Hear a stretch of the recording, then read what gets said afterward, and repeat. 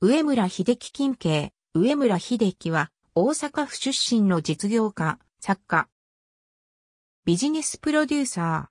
ー。1972年大阪生まれ。大阪府立東住吉高等学校、関西大学経済学部卒業後、JR 西日本に就職。1997年8月、父親の癌が再発したことを機に、JR 西日本を退社。1997年9月、スペックコーポレーションを設立。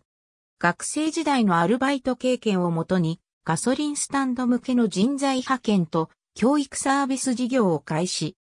その後、静岡の鈴代グループオーナー鈴木与平との出会いを経て、同社グループとの共同出資会社を2社の代表を務める。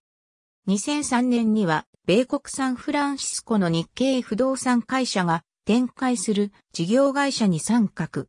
ナパバレー近くの温泉地、カリストーガでホテル業を営みながら、持ち株会社の共同オーナーとなる。その後、いずれもの提携解消とともに、役職も辞任する。2013年8月、友人の作曲家らとボランティアウクレレユニット、大阪ウクレレスターズを結成して、主に関西で演奏活動を行う。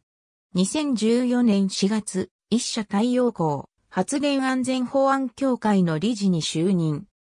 2015年6月、学童保育施設のなるには学問堂を開設して、学長に就任。2015年10月、経営者向けの私塾進学塾を開校して塾長に就任。現在はスペックグループの代表として活動しており、著作活動も行っている。スタイリスト西ゆり子らと共に、1999年から始まったがん患者サポートチャリティの主催者である。肩書きはストーリーデザイナー、ビジネス著作家。現在は4社の企業オーナーとして人や組織の好転を演出する活動を行っている。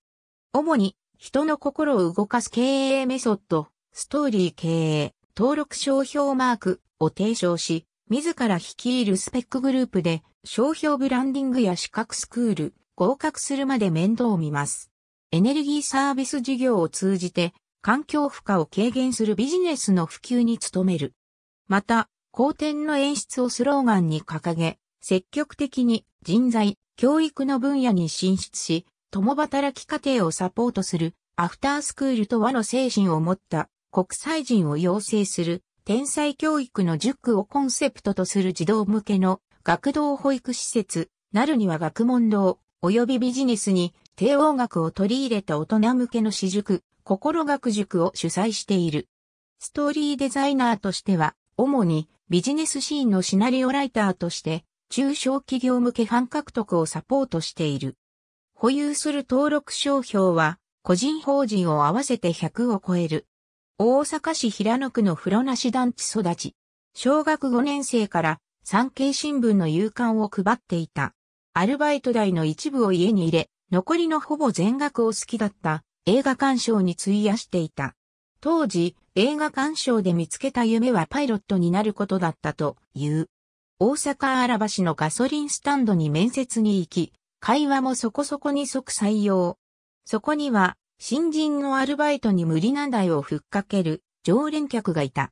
初日の勤務早々、兄ちゃん。このベンツ、ちょっとの間、置いとってくれや。その一言でパニックに陥る。先輩の指示に従い、この車を無事にお客様に引き渡すために、あらゆる手段を講じて、事務を処理をした。この日以来、悪質なトラブルやクレームの裁き方のコツを学んでいったという。自身にも3人の子供があり、日課は子供全員の入浴と歯磨きという。長男の小学進学時に、いわゆる小一の壁を経験する。一般の学童保育は午後6時までに学校へ迎えに行かなければならず、配偶者は5時半に退社しなければならなかったのだ。そうした自らの体験をもとに解説したのがなるには学問堂であった。以前は一般の会社と同様に会社の目標を売上高とか従業員とか数値ばかりに重きを置いていた。子供のアトピーがひどく、その原因は、夫妻のこれまでの食生活にある、ということを医師に指摘され、子供たちに残せるものが何かを考えたとき、経営に環境は外せないという考えに至った。誰にでもその人だけの天才が備わっていると思います。子供の眠れる力を最大限に引き出せるように心がけていますと語る。日頃からなるにはの子供たちに夢を語ろうと説いているおり、自身の夢は、なるにはを卒業した子供たちが社会人になって学童を手伝いたいと言って、スペックの社員としてここに帰ってきてくれるような魅力的な会社にしていくことですと胸を張って語っている。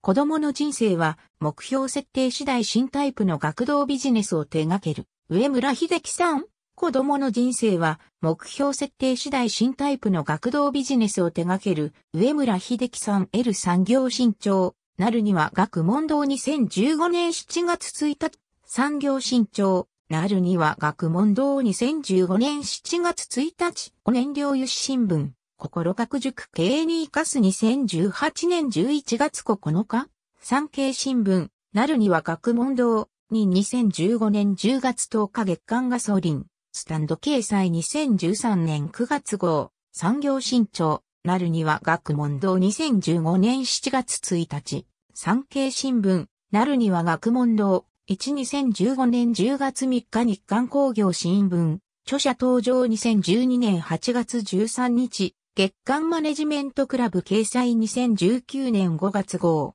ありがとうございます。